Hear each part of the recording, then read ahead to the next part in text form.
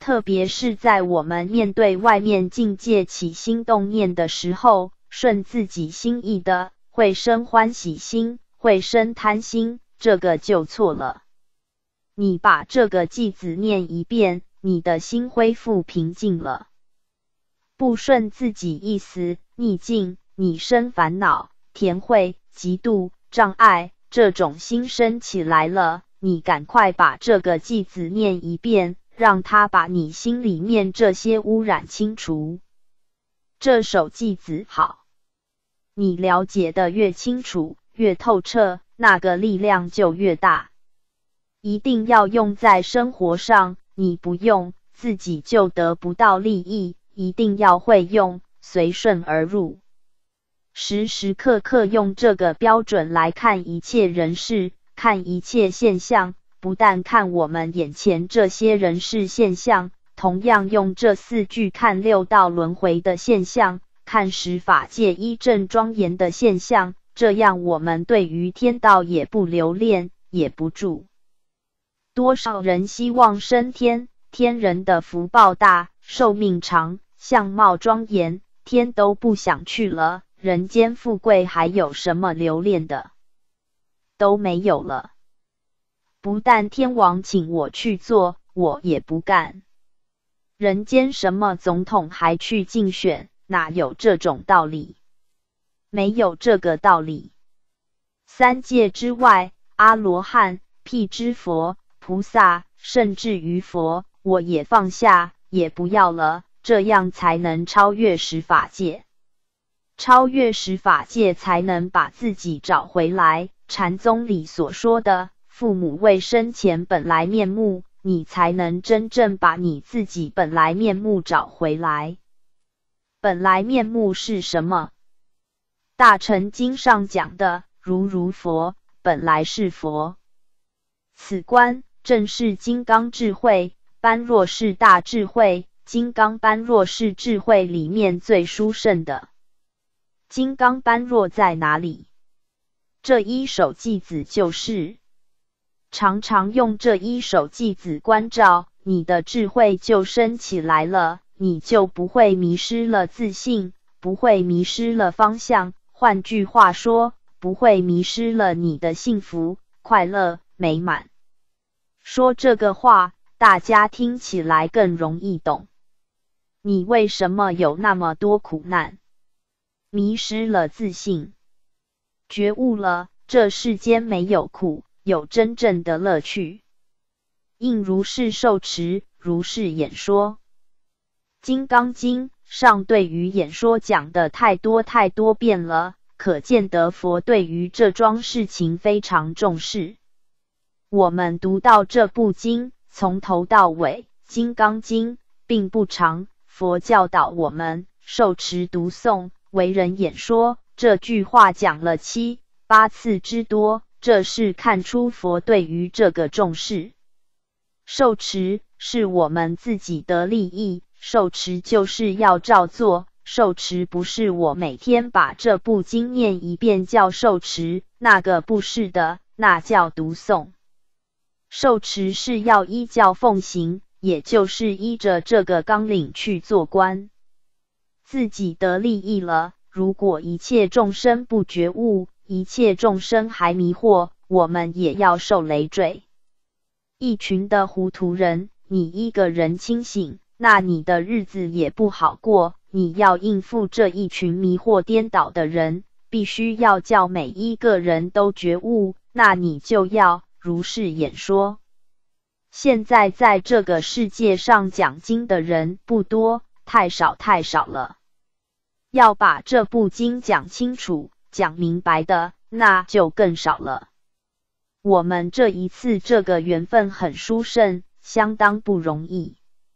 这不经从去年讲到今天，杨会长刚刚告诉我，我们总共讲一百二十四次，一次两个小时，是二百四十八小时，很不容易。我们的缘非常殊胜，诸佛菩萨。祖师大德对我们的期望，就是幕后这一句“永永流通此少龙佛种之无上大法”。少是继续的意思，是承传的意思，代代承传，一代一代的传下去。龙是发扬光大，我们从上一代接到自己手上，不但要传到底下一代，还要把它发扬光大，永远在流通。这是自行化他，显示无尽的悲愿，大慈大悲。讲经说法，实在讲不是难事，但是也不能把它看成容易。看成容易了，你不会有进步；看成太难了，你不敢去学习。尤其是这样圆顿的大法，我们初学的人可不可以学讲这部经？可以的。前面说遇缘不同这句话，善导大师真是讲绝了。几千年来大众的疑惑被他老人家一句话解开了。遇缘不同，学讲经跟学世间的这些东西，在原理原则上是相同的，一定要认识清楚，要一门深入。可是现代的社会跟中国古代的社会不相同。现在教学的方法很困难，如果用现在教学法来学讲经，可能一生都不能成功。中国古代是出世间的教学，讲求师承，所以它成就快速。我们读中国古书，历代这些读书人未满二十岁，二十岁是成年。未满二十岁的，在从前的人中举人的。秀才就不谈了，中举人的、进士的很多。诸位要知道，中举人、进士就可以担任地方的首长，现在的县市长很多，那不是假的。在我们现在看到，十八九岁是小孩，他懂什么？他什么都懂，他能够治理一个地方。民国初年，我们在台湾还遇到一位十九岁做县长的张灵居士，这都过世了。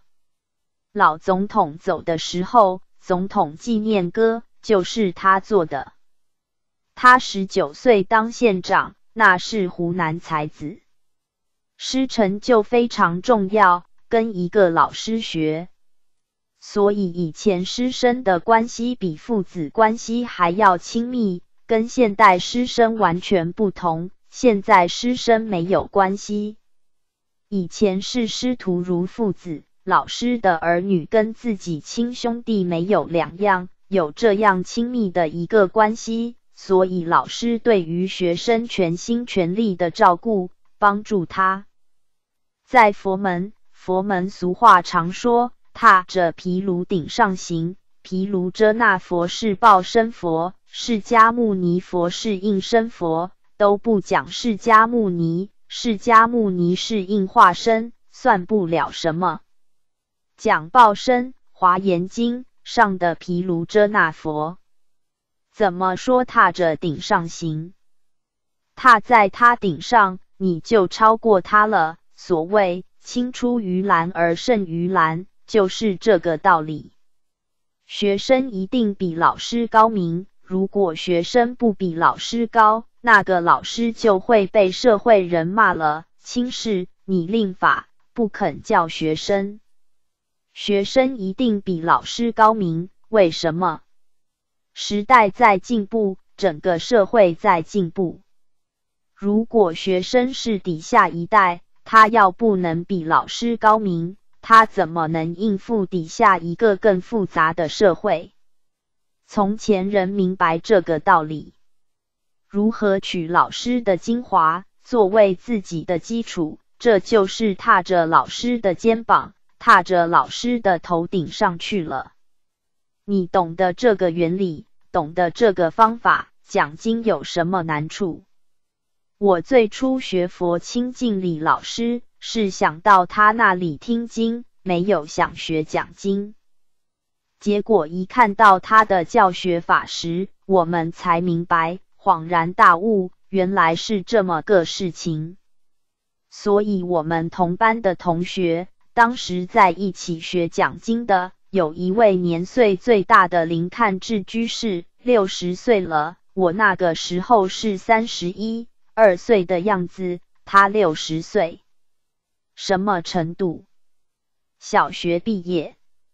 六十岁小学毕业出来学讲经，学多久？给诸位说，一个月，一个月就会讲。怎么个讲法？拿着老师这个基础，踏着老师的肩膀。譬如我们这一次讲的《金刚经》，我讲了二百五十个小时。现在你学讲《金刚经》多久的时间？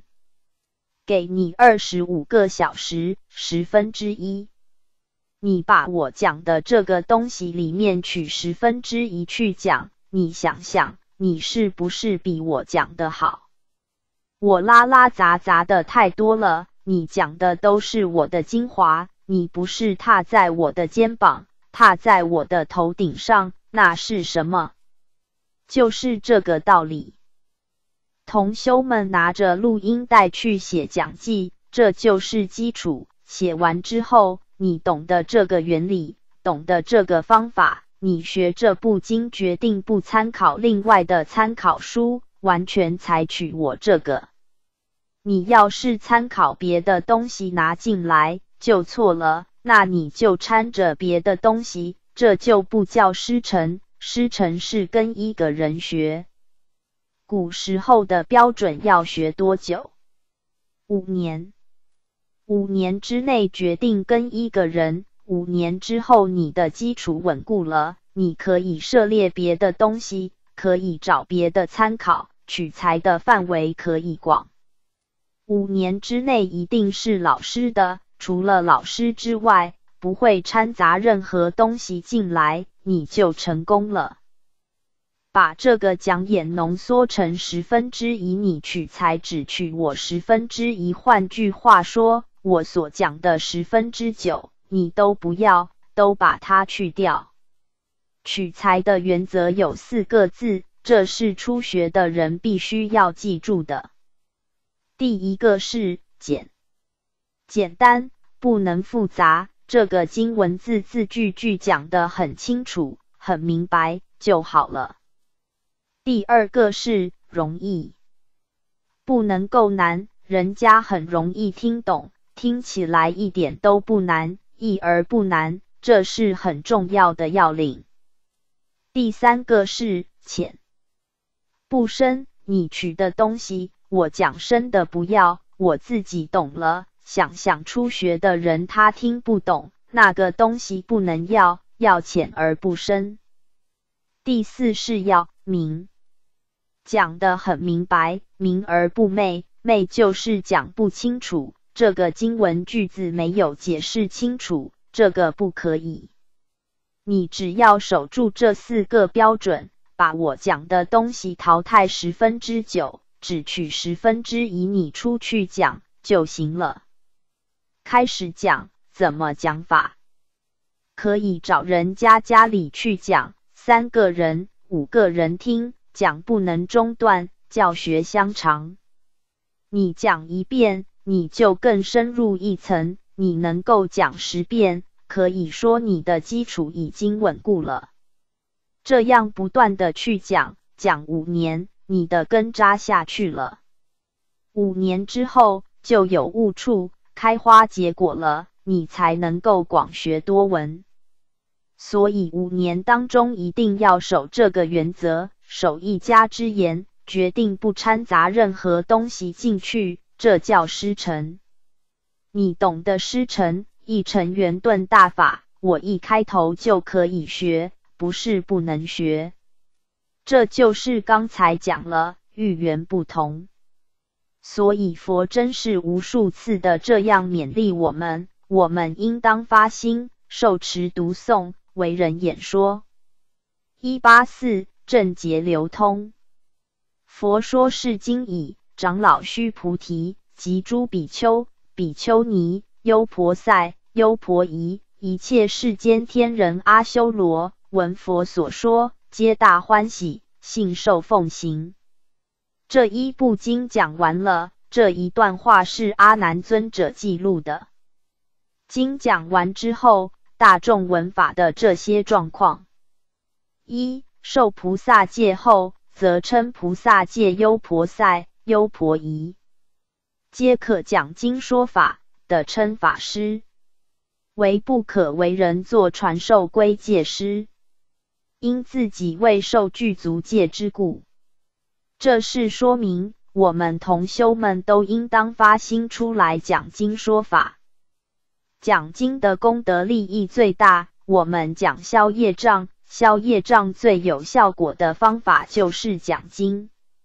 我们过去在李老师会下，老师的学生很多，他看到同学有些人面相很薄，很薄的人，大概我们一般人都能够看得出来。没有福，短命。看到这种人，老师就特别劝他出来学讲经的，的确却能够转变自己的命运。我年轻的时候相貌很薄，我年轻照片，诸位要一看都会吓到，很瘦，一点福报都没有，真的是短命相。过去许许多多这些看相算命，给我算都活不了四十五岁。我今年七十岁了，福报还算不错。这个统统是学佛以后修来的，后天的，不是先天的。可以说效果非常的殊胜。你就走这个路子，在家同修一样，抽出闲暇的时间，一个星期讲一次就可以，但是决定不能中断，至少要保持一个星期讲一次。现在说实在话，在家同修要学讲经容易，出家学讲经难。你们想想，哪一个道场会让一些年轻出家人让你在这里学讲经？这不可能的事情。你会讲了，那老和尚怎么办？在一般跟你这些同辈分的师兄弟，哪个不极度障碍？没有机会。现在真的讲经说法，在家居士的机会比出家机会多，而且殊胜。因为你在家，你的亲戚朋友很多，我每个星期一到你家给你讲一部《金刚经》，三个人、五个人听，听众就愈来愈多。因为你讲的精彩，你讲的一定比我讲的好。你取的是我的精华，我那些拉拉杂杂的你都丢掉了，都不要了。你晓得这个原理，你才知道这个事情不难，这个事情可以做。学讲经，练习讲经，到讲的差不多，讲的很好了，再去受菩萨戒。那个菩萨戒是形式，免得人家毁谤。因为你受了菩萨戒，菩萨有责任讲经，所以在家菩萨有责任讲经，出家人对你也不能批评。而且说实在话，讲经生做是代佛说法，居士讲经生做代佛说法，我们出家人去听，也要先拜三拜。你下了台，你是居士的身份，你上台。你是代佛说法，那个身份不一样，所以这一点我们要晓得。很多人不懂这个道理，不知道事实。我们看佛经，佛当年在世的时候，为摩居士是在家居士，他是受了菩萨戒的居士。为摩居士讲经，舍利弗、目犍连是佛的大弟子。去听经一定要顶礼三拜，又绕三匝，那个礼节跟对佛完全一样，没有两样。佛法是师道，师道是老师第一大，不管你在家出家，老师第一大。你一生做是代佛说法，这就是第一大。进入这个佛堂，你就应该要行礼，这就是最敬礼。我们必须要懂的，不是一出家就第一大，没这个道理。那是个错误观念。身作讲经，居士可以称法师，法师、和尚都是通称，在家也称和尚。和尚不是出家人称的，这个诸位要知道。和尚是什么？是清教师，就是传法的老师。譬如你今天跟我学讲经，我就是你的和尚，你完全依靠我的。我就是你的和尚。我过去学讲经，我是出了家，我是跟李炳南老居士学讲经，李老居士是我的和尚。和尚是印度话，翻成中国意思叫清教师，现在的话就是指导教授，他直接传法给我的。所以和尚的关系是非常密切，他有师承的关系。法师没有师承关系。二若向在家善知识请求讲经说法，为其弟子依以为师，则故无不可者。如其志愿真诚，堪以教化，善知识亦不宜一味俊句也。若向在家善知识请求讲经说法，为其弟子依以为师。则故无不可者，这是以在家居士为老师的。在家居士以在家居士为老师，出家人以在家居士为老师都可以。这是世尊出现在当世的时候，就已经把这个例子给我们建立了为模式。在家居士多少出家人以他为老师，跟他学习。佛身边的弟子也是以他为老师，他讲经说法，有的时候佛教自己学生到那边去听，可见得没有令法，人家讲的是正法，哪有错误？所以出家人可以依在家人为和尚为老师，如其志愿真诚，堪以教化，善知识亦不宜一味郡具也。这是不可以拒绝的。他是真心诚意来求法，你要是拒绝他，这是断人法身慧命，这是完全没有慈悲心的。只要是真诚的来求学，一定要教。三，此经是大般若法会中之第九会，且是为发大乘、发最上乘者说，可见在会者。皆是发无上菩提心之大菩萨，故不别列也。这是说前面所列的这些大众里面有比丘、比丘尼、优婆塞、优婆夷，他没有列菩萨众。为什么不列菩萨众？这个地方给我们说出来它的原因。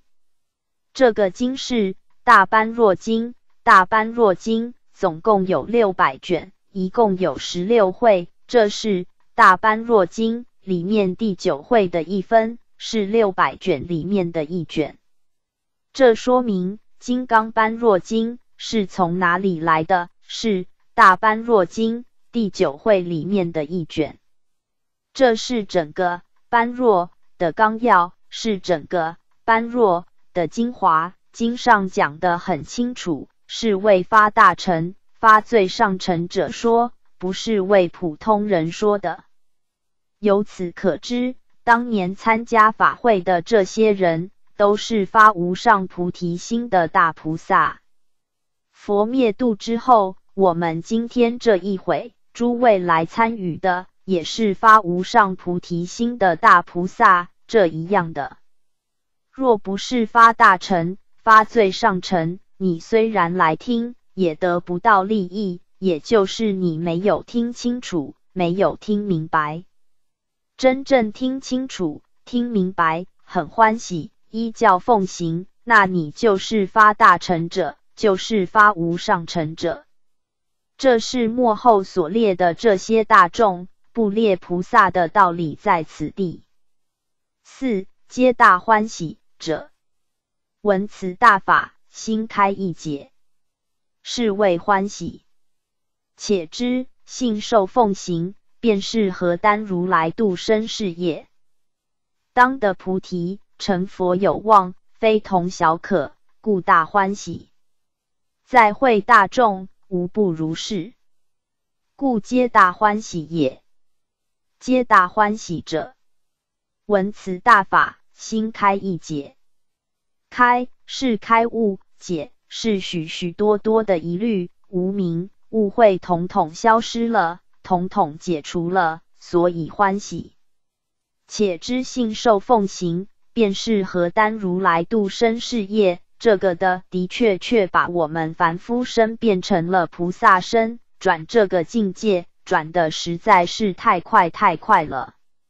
转凡成圣，知道依照这个经去做，佛教给我们为人演说，这就是担负如来度化众生的事业。当的菩提成佛有望，这两句话是真的。只要你依照这个原理原则去做，你的进步非常快速，年年不一样，月月不一样。当的菩提就是开悟，从小悟、大悟、大彻大悟，明心见性，见性就成佛了，非同小可，故大欢喜，在会大众。无不如是，故皆大欢喜也。我们今天也是这个心情。五信即信心不逆之性，受即生解意趣之解。因其有不逆之性，生解之受，所以奉行。奉尊奉，尊依经中所说之意趣。行自利利他。自己尊奉而行，复广布此经，为人演说，令一切众生无不皆大欢喜。信即信心不逆之信，信心不逆是本经的经文，这个意思就是非照这个理论方法去做不可。这样的信心叫做信心不逆。受即生解意趣之解。这是须菩提尊者自己说的。他听佛说这个法，深解意趣，因其有不逆之性，身解之受，所以奉行。奉行就是受持，奉尊奉，尊依经中所说之意去，行自利利他，自己尊奉而行，复广布此经，为人演说，令一切众生。无不皆大欢喜。这些话都是佛在这部经上常常讲的，教导我们应当受持、读诵、为人演说。六如是信受奉行，勿使慧水长流，法脉永通，传之成节而无滞，普济万类而无疑，则变法界，尽未来有此经处，便是佛说法处。如是信受奉行，勿使慧水长流，法脉永通。这两句话是自行化他，在自己本分上，智慧不断增长，烦恼业障不断的消除，在佛法修学、弘扬、传播，永远是很顺利，无有障碍。传之成劫而无滞，成劫是时间，普济万类而无疑。这句话是讲的空间，时间永远的传下去，空间是普度现前一切众生，无疑是没有漏掉一个。则变法界，尽未来有此经处，便是佛说法处，经典所在之处就如同佛在。但是经典一定要有人受持，要有人读诵演说，才能产生效果。如果没有人受持，没有人读诵，没有人演说，现在台湾是很富裕，印刷术很发达，很多人家都有一套大藏经摆在那里没有用处，摆在那里他不看，他不知道受持、读诵、为人演说，只是做装饰品而已，那个没什么作用的，一定要读诵。要依教奉行，为人演说。七结集者之意，在于一切大众依教奉行，佛种永永不绝耳。结集者之意，这个结集者是阿难尊者。阿难尊者的意思，在于一切大众依教奉行，佛种永永不绝耳。因为这一段经文不是佛说的，这一段经文是阿难说的，就是集结的这个人他的意思。他的意思劝勉我们要依教奉行，劝勉我们要流通佛法。现在这个社会从表面上去看，好像科学技术突飞猛进，人们的生活水准好像天天都在提高。如果你们大家这样看法，只看到外面表面上的现象，其实这个现象你也没有真看清楚。如果真的看清楚了，你就知道现在的社会这种发展并不乐观，里面的问题非常严重，后果真的是不堪设想。怎么知道？心量窄小，智慧一天一天少，贪甜吃慢三毒一天一天增长。这是三毒增长，智慧隐没了，还有什么前途？人怎么不苦？今天大家生活很苦。七八年前，我第一次到大陆去观光，大陆同胞看到外国人非常羡慕，尤其我们从美国回去的非常羡慕。我就告诉他，美国人的生活不如你们，他吓了一跳。他说：“怎么不如？美国住洋房，家家都有汽车。”都有电冰箱，怎么不如我们？我们过的是什么日子？我就问他一句话：你们不少人在一起，你们有没有负债的？我这一问，他就想：没有，都没有负债的，这个了不起。美国人从生下来到死，债都还不完，他什么东西都是赊账赊来的。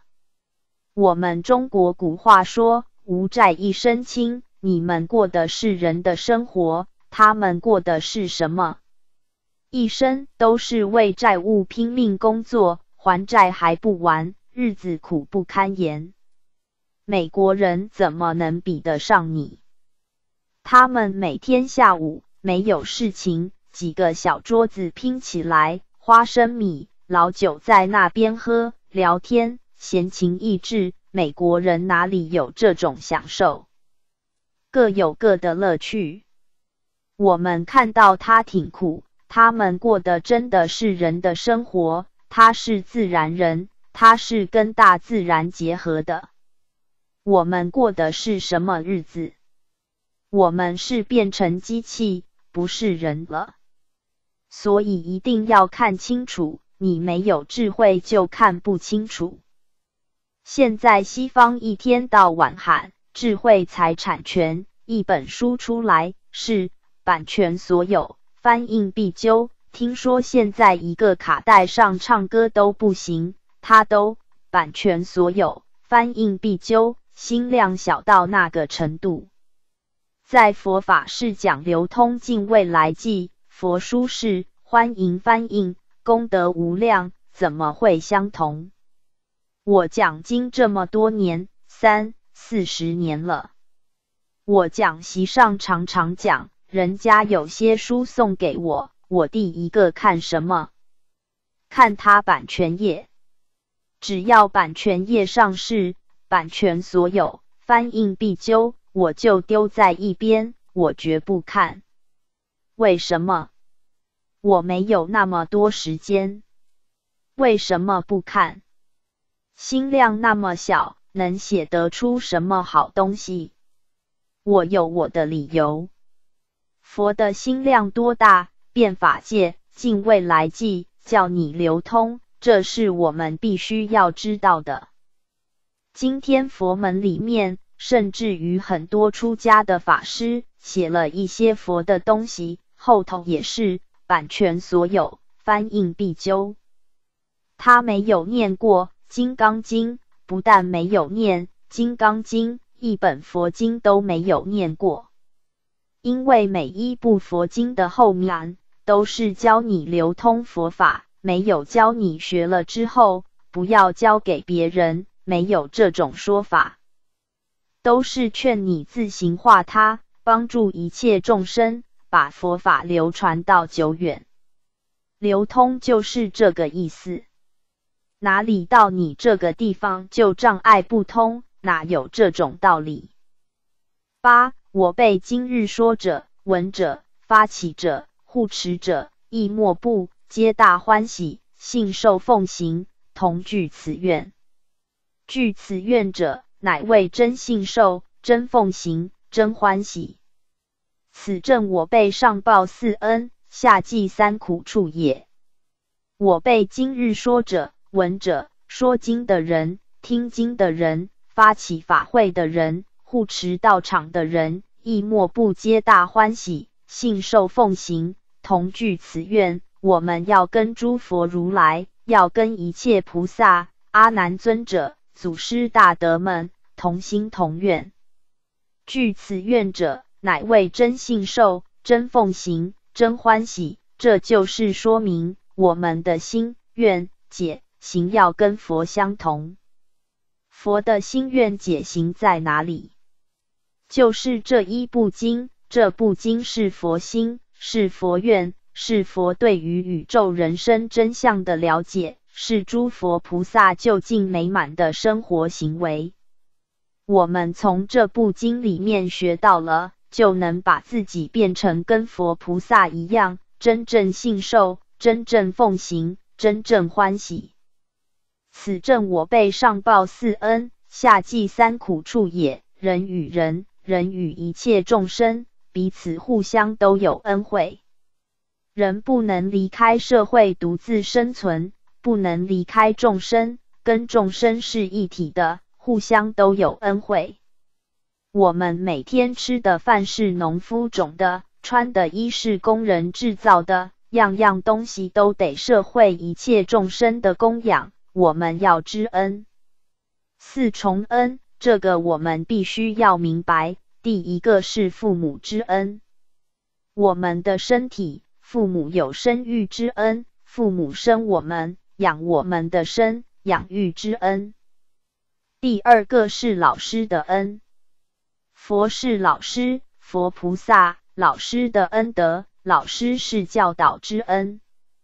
我们的法身慧命的自于老师。使我们真正了解宇宙人生的真相。佛是我们最好的老师，要知道这个恩德。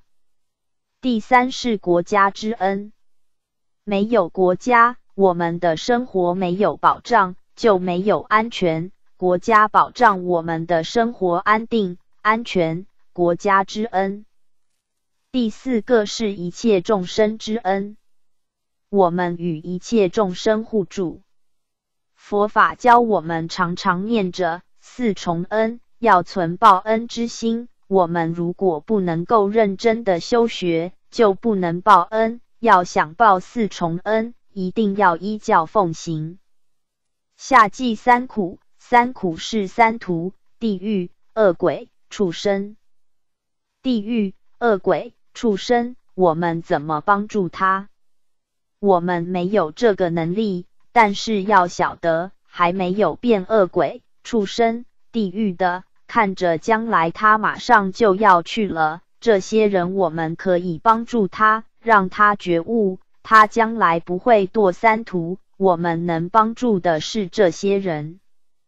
看看哪些人造地狱罪业、造恶鬼罪业、造畜生的罪业，我们能把《金刚经》的道理说给他听。他觉悟了，这一回头就不堕三恶道，这是下济三苦。所以自己依教奉行，这是报恩；为人演说，就是下济三苦。九，唯愿诸善之事从实性而入尽性，于有位而正无畏，以此行愿，庄严佛土，化度有情，归心净土。老实念佛，即得往生，不退成佛。唯愿诸善之事，从实性而入净性。净性的功夫，比实性要深得多了。尽性里头丝毫的疑惑都没有，对于理论、事实、真相都搞清楚，都搞明白了。于有味而正无味，这是讲我们修行气入功夫的浅深，由浅而深。以此行愿，庄严佛土。佛土在哪里？就在现前。现在有人提倡人间净土，那在喊口号有什么用？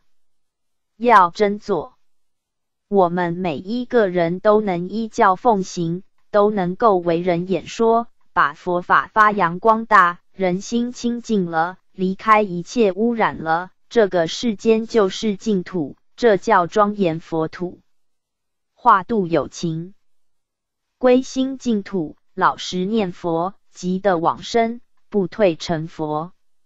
最后四句是最重要、最重要了，那是真的彻底、就近、圆满的解决问题了。